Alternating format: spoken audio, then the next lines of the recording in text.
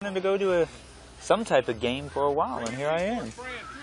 Yeah, spring training got over quick. Baseball's like, like months are flying by so quick. Let go with one hand.